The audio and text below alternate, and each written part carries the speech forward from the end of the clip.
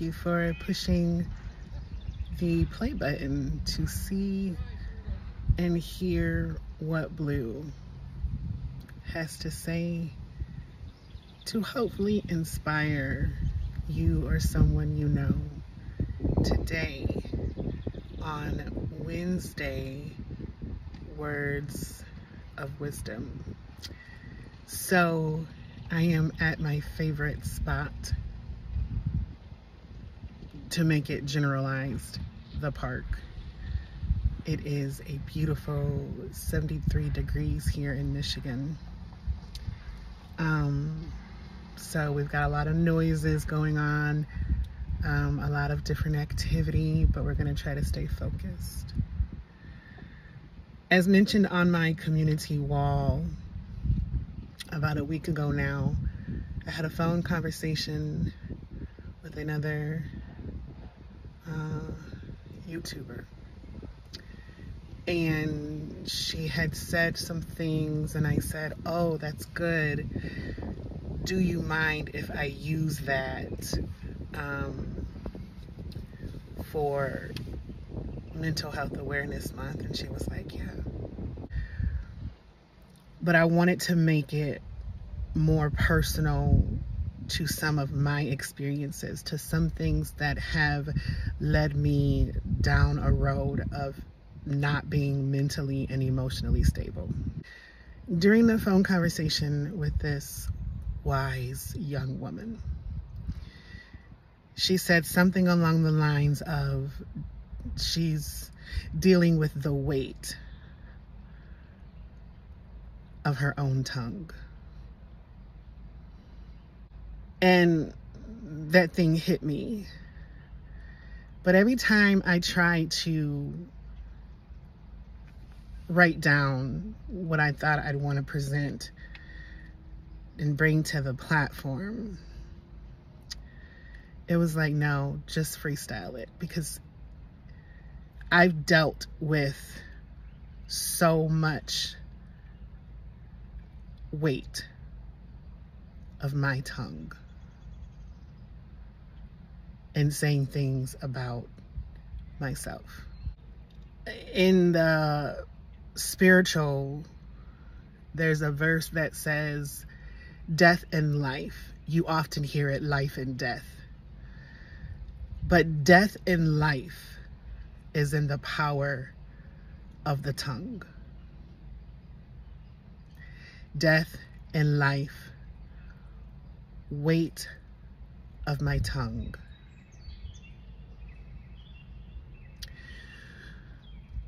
There was a time shortly before I actually began creating content, which has now almost been a year.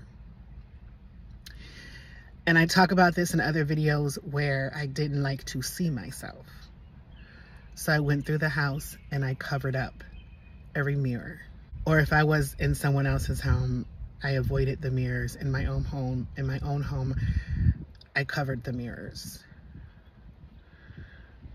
During that time, I was doing praise and worship at a church. And I said, I don't want to do it anymore because I don't want to be on camera. Before that time, or what led to that, I was in the habit, the bad, toxic habit of looking in the mirror and telling myself, I'm worthless. You're nothing. I'm nothing. Look at you. Look at your scars. Look at your fat, chunky face. Look at you. How could you love yourself? You're despicable. Your husband says he loves you, that he loves to look at you. He's supposed to say that he's your husband. He doesn't mean it. You're hideous. You think because you finished school or because you're about to finish school that that that that you're you're something? You're nothing. You think because God hasn't taken you out of here, that you're meant to be here, your life is worth nothing. What is your point of even getting out the bed? You're fat. You're sloppy fat. I'll get back to the sloppy fat in a minute. You're not good for nothing. You've got nothing to say good for yourself. You, you just, what is the point, Blue, of your existence? My own tongue speaking death.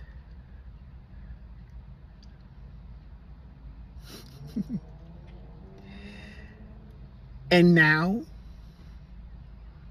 I look in the mirror and I say the total opposite. I look in the mirror and I love me.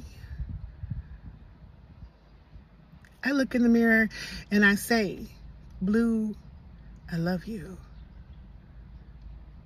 I say, girl, you're 44, but you got it.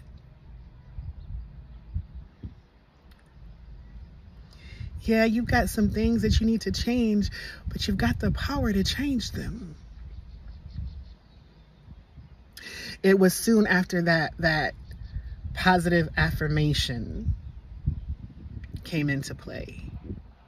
See, because I was always affirming myself but in a negative way. I was always affirming myself, but in a toxic way. I was always affirming myself, but I was adding weight to myself. Heavy, heavy weight. So when I learned positive affirmation, I was still adding weight to myself, but it was weight and strength. Make it make sense, Blue fat, this is heavy. It's weight. But muscle, Google it, weighs more than fat. Still weight, but it's a different type of weight. So the weight I was putting on myself with my tongue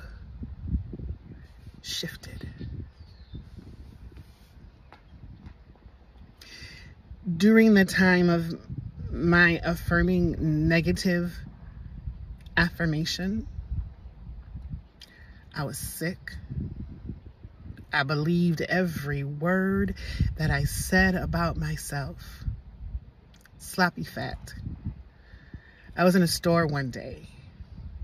I had a cart full of fruits for my hubby and vegetables for myself. And I walked by and I heard someone say, she's sloppy fat. I wonder who she's buying those vegetables for. They can't be for her.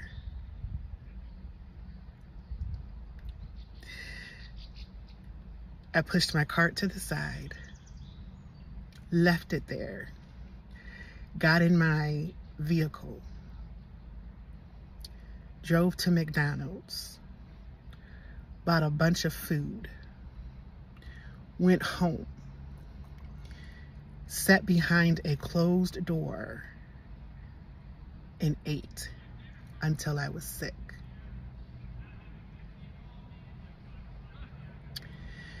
It wasn't that what that person said bothered me the part that bothered me was that I believed it for myself. It's something I would have said to myself before I heard them say it. See, my issue wasn't with the idiots that said it. The issue was that I believed it so much so that I left that cart there and went and got the most unhealthiest fast foods and stuffed my face what they said is what I really believe, so I may as well continue to be sloppy fat. Mind you, at this time, I had already went through a weight loss of 60-ish pounds. Yeah. But it was how I felt about myself. It was the things that I had said about myself that when I heard that, it added to the weight that I had already put on myself.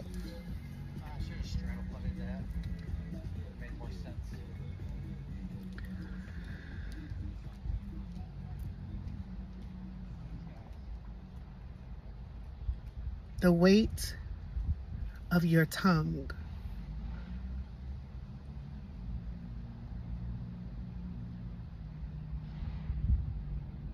Believing what you're saying about yourself, even though it's negative.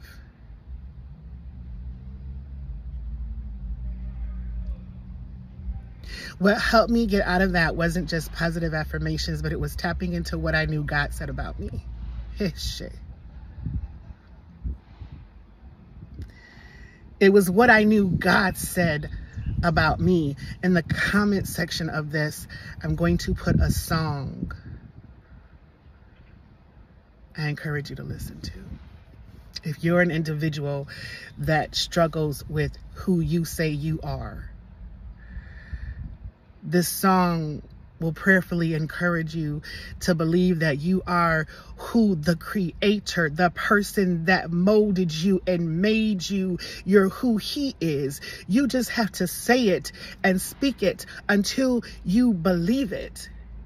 Affirmation is what you say to yourself about yourself and be repetitive with it when it's positive. See, I was repetitive about all the wrong things because that stuff that I looked in the mirror on a daily and said about myself was bullcrap. And it didn't matter that hubby was like, baby, you're beautiful. I love you the way you are. You're making the changes you want to make. It didn't matter. Oh, I love you too. Thank you. When all the while hating myself and telling myself with my own mouth, with my own words, with my own mental instability. Telling myself all the opposite, not believing him, not believing anybody else that said anything that, oh, that's nice of you to say. But in my mind, that's not really me.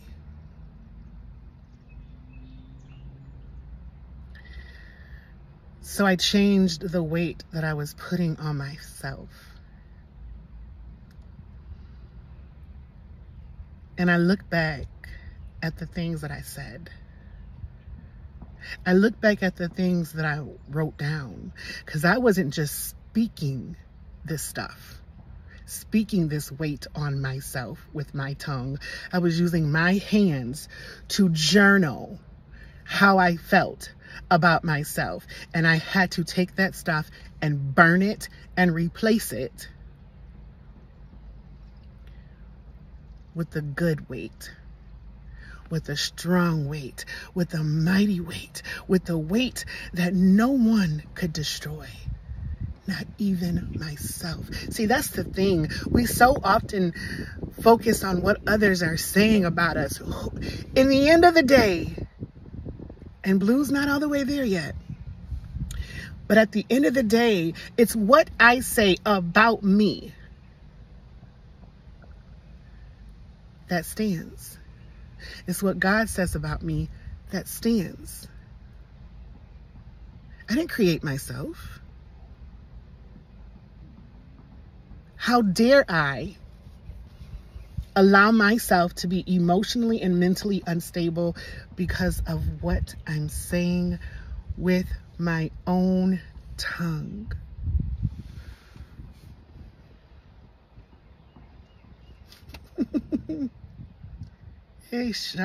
So where I once cried, I can laugh now. Where I once huddled in a corner with food, I'm hey, I'm free from that now. And it didn't happen overnight, and it didn't happen over 30 days. It took time. That's my story. Do you have one? Do you have a story? Is there something that you've told yourself in 2024 alone? That you're carrying around with you and it's weighing you down?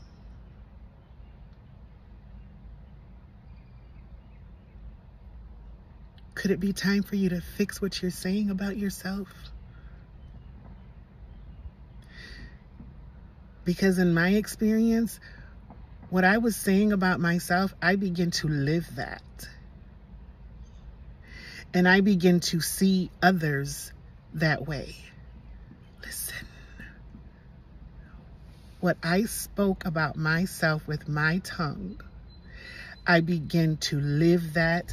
I begin to breathe that. I begin to feel that. And I begin to look at others that way. Yeah, I did that. Blue did that. And Blue did that very well. Y'all think, well, I'm not going to say y'all think, but for anyone that thinks that, oh, she's, she's, she's this way and this is what we see. I, th th this was not always my, my, my. This was not always. But it was always in there. It was buried. It was buried. So for this mental health awareness video, for this word of wisdom or words of wisdom Wednesday, my words of wisdom to you is, have you been weighing yourself down with the weight of your own tongue? If you can say yes to that, could it be time for you to consider turning that negative, heavy, heavy fat into positive muscle. And if you can say it's time, consider starting today. Because your mouth of what you say back to yourself is going to stop that negative crap from being exposed and getting rid of it and your manifestation is being blocked because of your own weight put on you by your own tongue. This is all my story my opinion. Be it unto you according to your own faith and your story and your opinion about yourself. And take heed to what I'm saying, not because Blue said it, but because you know it to be true for your own life.